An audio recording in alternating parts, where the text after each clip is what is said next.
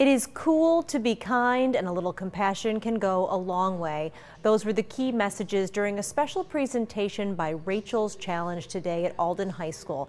Speakers from the national nonprofit visit students across the country in an effort to prevent school violence, bullying, and youth suicide. It was started in memory of Rachel Scott, the first victim of the Columbine High School shooting in 1999. Alden has its own Friends of Rachel Club, which aims to make the school a better place.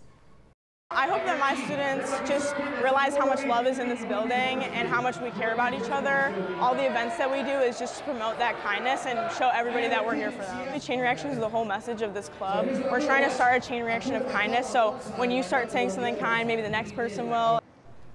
This afternoon, a group of students attended a training session to brainstorm more ways to bring more kindness and compassion to their school.